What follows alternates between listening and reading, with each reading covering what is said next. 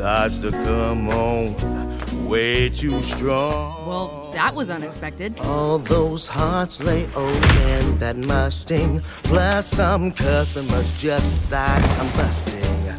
Welcome to WatchMojo.com, and today we're counting down our picks for the top 10 out of genre TV episodes. Oh, my darling, you haven't aged a day! For this list, we're taking a look at TV episodes that are inconsistent with the show's genre, offering something completely different than usual. You gotta pay the troll toll if you wanna get into that boy's hole. This can include musical episodes, episodes produced in different media, or episodes that have a different vibe than usual. Number 10, Steve-O, Family Matters. Tonight's episode of Family Matters is a little scary. Family Matters started out as a run of the mill family sitcom, but became consistently more absurd as Steve Urkel took center stage. Feast your eyes on this. The show peaked in outlandishness with this Halloween special where Urkel acquires a look-alike ventriloquist dummy. In a move that's way dark for a TGIF show, the dummy comes to life, dons the name Stevil, and starts stalking and attacking the Winslow family. Good job. While it all turns out to be a dream, there wasn't a kid who saw this episode who wasn't horrified by this dancing satanic puppet. Of course, now he's just hilarious. Only I'll do the talking, and you'll be the dummy. Number 9. Changing Channels Supernatural. Hello! Thank you. This episode of Supernatural doesn't just take Sam and Dean to one different genre, but several. Oh, Dean.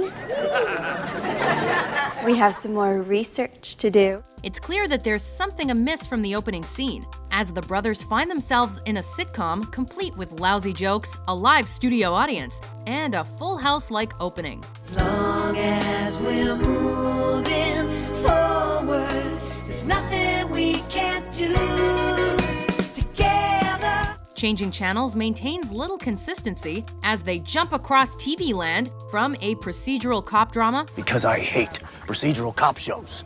to a sexy medical soap opera to Knight Rider.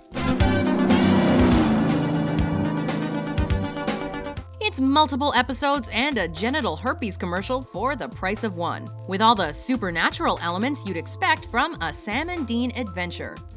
I've got genital herpes. I tried to be responsible. Did I try? Number 8. The Rescue Mission Power Rangers Lost Galaxy. Most adults remember Power Rangers for its colorful action, campy charm, and ridiculous creatures straight out of a Japanese monster flick. You will carry on the work we began. You will be the Magna Defender.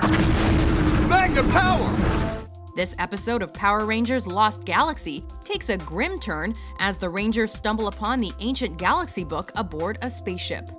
It's a book. With dark lighting, sophisticated sets, and a suspenseful tone, the rescue mission feels more like Alien than typical Power Rangers fare.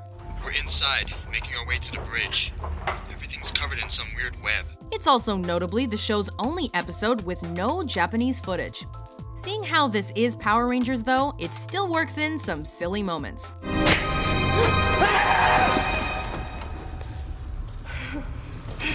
Number 7. My Musical Scrubs. You're the only man who's ever been inside of me. Whoa, whoa, I just took out his appendix.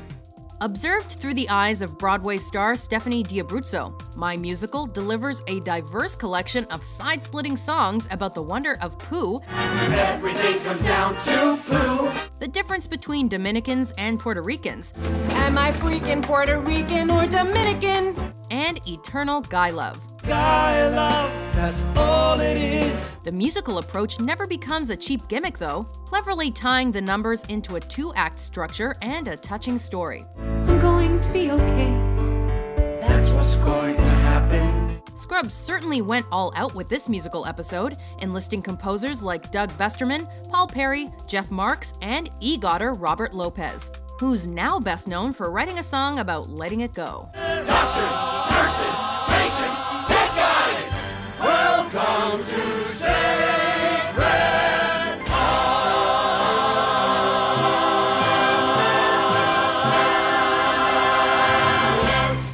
6. Krusty Krab training video SpongeBob SquarePants. If you're watching this video, then let me be the first to say congratulations! You've recently been hired by the Krusty Krab restaurant, and this is your first official day of training. The Krusty Krab training video will teach you everything you ever wanted to know about working at this underwater fast food establishment. Except for how to make a Krabby Patty. Can I make a Krabby Patty now? Oh no, you've got a lot to learn before you're ready to make a Krabby Patty. Regardless, this tutorial video caught many young fans off guard as one of the funniest episodes of SpongeBob. Is that for here or to go?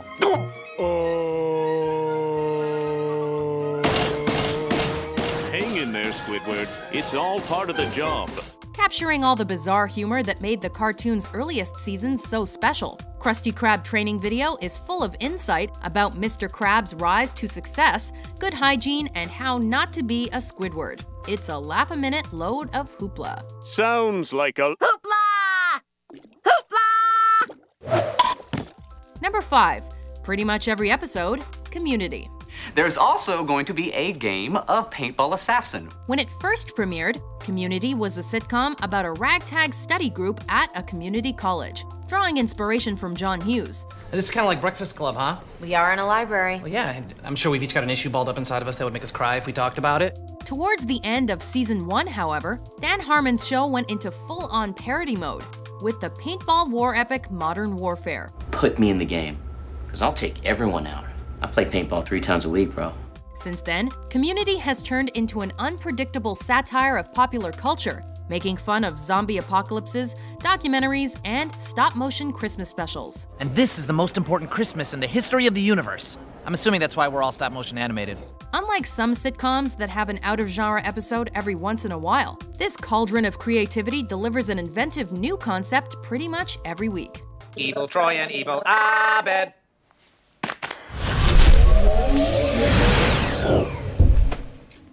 Number 4. Queen of Jordan, 30 Rock. Don't tell me I can't sing. What the f you ever done? Anybody who's married to Tracy Jordan deserves their own reality show. In Queen of Jordan, Tracy's wife Angie steals the spotlight as she attempts to launch her singing career. Since Tracy is off helping people in Africa, I finally have a chance to focus on me. That is why I'm launching my music career. Angie surrounds herself with countless pets and an entourage of attention hungry individuals like former call girl Randy and homosexual party planner D'Fwan. And D'Fwan is a queerfectionist. The regular 30 Rock cast also makes appearances, with gay Jack Donaghy proving his masculinity, Holding all the balls. Okay, I hear it now. Jenna throwing wine at everyone to get on camera, and Frank reuniting with the love of his life. What happened to Frank is awesome. Standing ovation. You don't understand. It was love. We were in love. This out of genre episode proved so successful, it spawned a follow up Queen of Jordan 2 Mystery of the Phantom Pooper. I think I just solved the mystery of the Phantom Pooper. Number 3, and then there was Shawn, Boy Meets World. Why is Shawn so obsessed with you too? Like Stevil, and then there was Shawn goes to some unbelievably dark places for a show aimed at young adults. Hello? Do you like scary movies? What's your favorite? Taking a page from Scream, the episode finds Cory and the gang locked inside the school with a masked killer. Eric! Since Shawn has grown up with classics like Blood in the Showers, The Last of the Obvious Suspects, and The Killer is One of Us, he knows every trick to survive a scary movie. All right, everybody. As much as this goes against my horror movie instincts, I think we should split up. That way the killer can't get to us all at once. This horror centric episode is full of great meta humor, surprisingly strong character development, and even a They Killed Kenny South Park reference. Oh my gosh! They killed Kenny! Number 2 Hush, Buffy the Vampire Slayer. A demonstration. Buffy Summers. Its magical world has given leeway for Buffy the Vampire Slayer to produce various out of genre episodes, like the musical Once More with Feeling. Let me rest in peace. Let me get some sleep. Let me take my love and bury it in a hole six foot deep. But nothing was ever quite as ambitious or jarring as the Emmy nominated Hush. This practically dialogue free episode derives a ton of inspired humor from its silent movie premise, while also being one of the show's most genuinely creepy outings.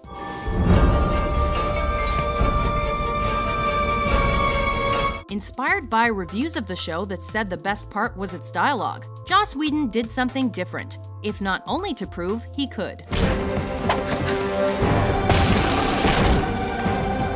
But Hush is ultimately about human communication, amounting to a perfect final scene that will leave you at a loss for words.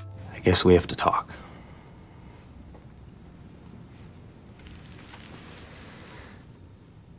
I guess we do. Before we get to our top pick, here are a few honorable mentions. The lesser males languish at the edge of the colony, unable to attract their own harem due to age. Harem? I can barely see them. Immaturity. I'm scared. Or other reasons. Hmm, I don't know. Does this kelp scarf make me look fat enough? Wanna have sex?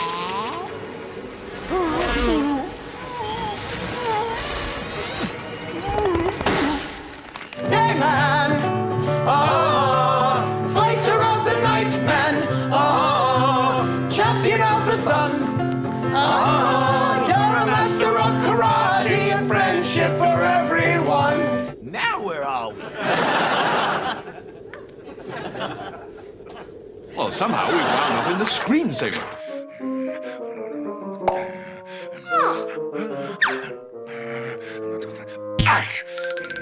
Number 1. All Treehouse of Horror episodes, The Simpsons. Hear ye, hear ye. Compared to other animated programs, The Simpsons usually stays grounded in reality. And yet, I'm still not satisfied. However, every October and sometimes early November, the show takes a break from its regular routine with its annual Treehouse of Horror episode.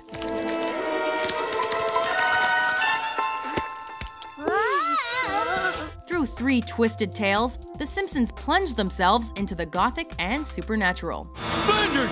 You're the devil? The possibilities are endless, with the specials dramatizing The Raven, parodying The Shining, and sending Homer to the fabled third dimension. Oh, uh, oh. There have been so many memorable shorts over the past couple of decades that they're worthy of a list of their own. Happy Halloween, everybody! Do you agree with our list? Oh, I agree. What out of genre episodes took you by surprise? Blood crieth unto heaven. For more entertaining top 10s published every day, be sure to subscribe to WatchMojo.com. Well, let me think it over.